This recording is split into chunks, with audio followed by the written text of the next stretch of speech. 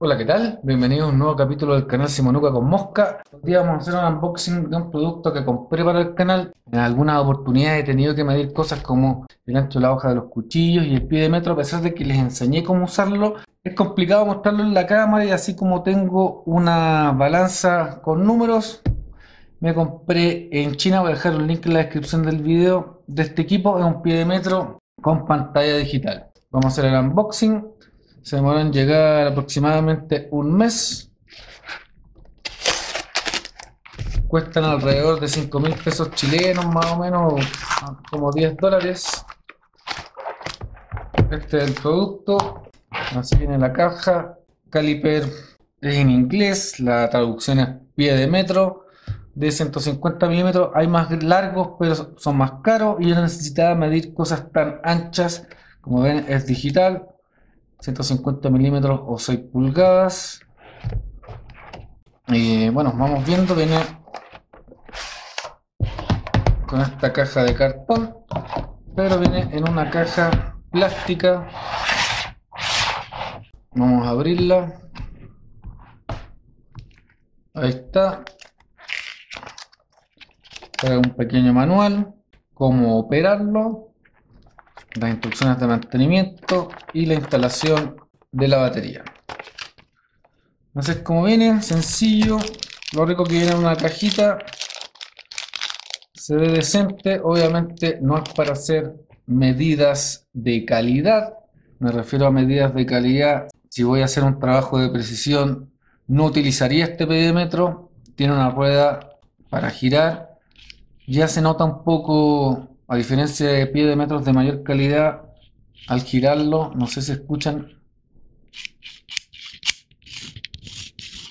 se escucha con bastante roce, obviamente es, muy probable que la terminación no sea muy buena, además no sé si se alcanza a apreciar, pero esta parte del pie de metro está curvada así, pero bueno, le vamos a pegar una regla. Voy a dejar el link en la descripción del video donde hay una persona que hace un review más profundo de esto. Esto es un unboxing y eh, incluso indica cómo arreglarlo. Es la regla que le voy a pegar. Obviamente lo voy a lijar. Seguramente haga un video de cómo hacerlo por si se lo quieren comprar.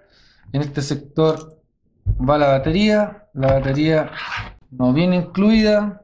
Lamentablemente no les voy a poder mostrar cómo opera. Pero sí comentarles que aquí tiene un perno. Ese perno es para, si tomo una medida y quiero mantenerla, puedo apretar ahí para traspasar esa medida a donde quiero hacer el corte o donde quiero medir. Lo otro que trae es una interfaz ahí que no sé para qué se puede utilizar, pero la trae. Quería mostrárselos. Lo otro interesante que tiene para transformar entre pulgadas y milímetros. Se puede setear el 0, por ejemplo, a esa distancia puedo setear el 0 y de ahí en adelante medir. Puede ser útil en algunas ocasiones. Y obviamente un botón para encender y apagar. Estos de aluminio, los negros de plástico, el resto todos de plástico. Y trae paletas para circunferencia, para diámetro y para profundidad acá atrás. Eso era, lo van a ver en acción cuando haga videos donde haga medidas, por ejemplo, el ancho de una hoja o cosas similares. Aquí trae algo para un accesorio, pero me compré el más barato, así que el accesorio no viene. Por lo menos viene una cajita.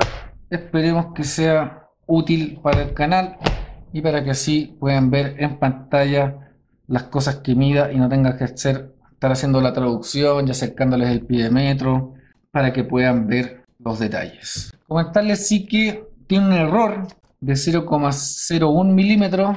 Como les decía, no es para trabajo de precisión, por lo tanto estoy contento con ese error. La velocidad de medida es de 1,5 metros por segundo.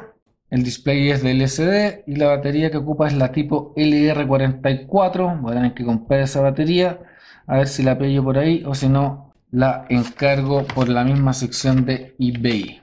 Bueno, eso era señores. Agradezco su tiempo. Si les gustó este video, denle like, compártalo con sus amigos. No olviden de suscribirse al canal y como siempre nos veremos en una próxima oportunidad.